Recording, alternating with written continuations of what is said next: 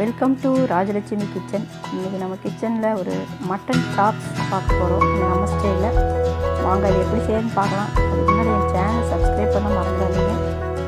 இப்போ நான் அதுக்கு வந்து ஒரு மசாலா அரைக்க போகிறோம் இதுக்கு வந்து பார்த்திங்கன்னா ஒரு நாலு ஸ்பூன் மல்லி ஒரு ரெண்டு ஸ்பூன் மிளகு கொஞ்சமாக பூண்டு கொஞ்சம் வரமிளகா உங்கள் காரத்துக்கு தேவையான அளவு எடுத்து வச்சுக்கிறேன். இப்போ இதெல்லாம் சேர்த்து அரைச்சி ஒரு பேஸ்ட் மாதிரி எடுத்துக்கலாம்.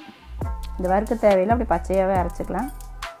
இப்போ வந்து நான் மட்டன் எடுத்திருக்கேன். சாப்ஸுக்குன்னு நம்ம கேட்டோம்னாலே நம்மளுக்கு இந்த மாதிரி வெட்டி தருவாங்க கடையில். இந்த மாதிரி பீஸ் வெட்டி வாங்கிக்கலாம். இப்படி எலும்போடு இருந்தால் தான் இது நல்லா டேஸ்ட்டாக இருக்கும். இப்போ வந்து நான் அரைச்ச மசாலா இதில் ஊற்றி நல்லா பரட்டிக்கிறேன்.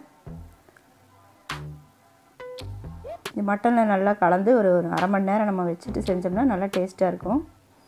இப்போ நல்லா கலந்துட்டேன். மூடி வச்சு ஒரு அரை மணி நேரம் கழித்து அப்புறம் நம்ம தாளிக்க ஆரம்பிக்கலாம்.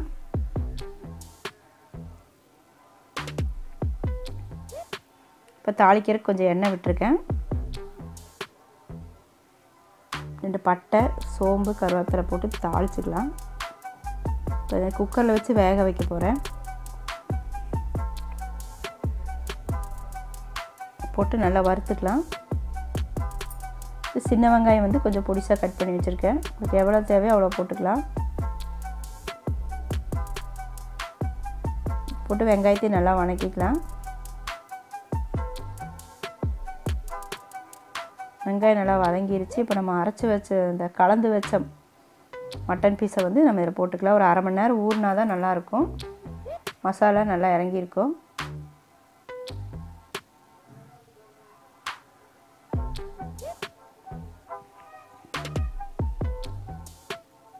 போட்டு நல்லா கலந்து விடலாம்.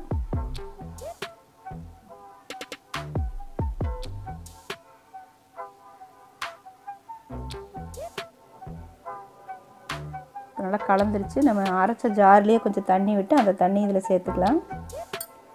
மட்டன் வேகிறதுக்கு தேவையான அளவு தண்ணி விட்டுக்கலாம். ரொம்ப தண்ணி விட்டோம்னா அது குழம்பு மாதிரி ஆயிரும். இப்போ உப்பு சேர்த்துக்கலாம். இப்போ தேவையான அளவு உப்பு போட்டு நல்லா கலந்து விட்டு மூடி வச்சுக்கிறேன்.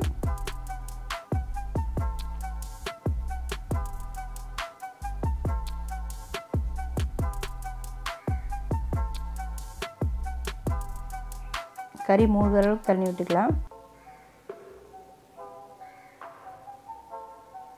இப்போ மூடி போட்டு ஒரு நாலு விசில் விட்டு எடுத்துக்கலாம்.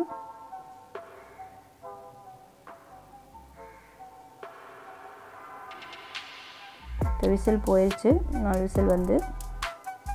இப்போ கறி பார்த்திங்கன்னா நல்லா வெந்திருக்கும் இதில் வந்து நம்ம இப்போ கிளற முடியாது குக்கர் வந்து. அதனால் இப்போ நான் ஒரு வேறு பாத்திரத்தில் மாற்றிக்கிறேன் இதனால் வறுத்தெடுக்கணும் நம்ம.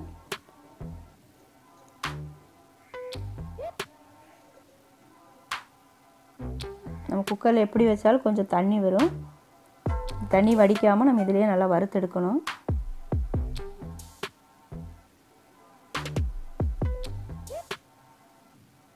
இந்த தண்ணி நல்லா சுண்டி வர அளவுக்கு வறுக்கணும்.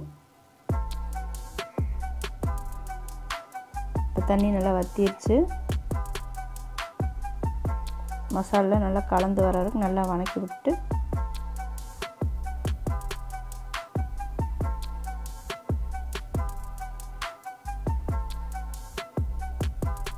பார்த்திங்கன்னா நல்லா வணங்கிடுச்சு எலும்புலலாம் நல்லா சாறு இறங்கியிருக்கும்.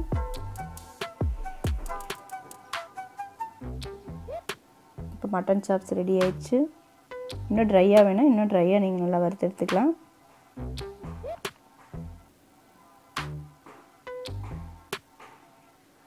நம்ம குக்கரில் வச்சதுனால கறி வந்து நல்லா வெந்திருக்கு.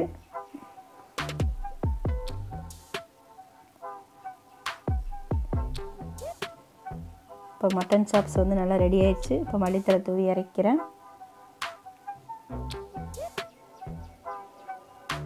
இது நீங்களும் ட்ரை பண்ணி பாருங்கள் நல்லாயிருக்கும் டேஸ்ட்டாக இருக்கும். நம்மளே மசாலா அரைச்சி வச்சுருக்கிறதுனால நல்லா டேஸ்ட்டாக இருக்கும். செஞ்சு பாருங்கள் எப்படி இருக்குன்னு கமெண்ட் பண்ணுங்கள் லைக் பண்ணுங்கள் ஷேர் பண்ணுங்கள் மறக்காமல் சப்ஸ்கிரைப் பண்ணுங்கள் தேங்க்யூ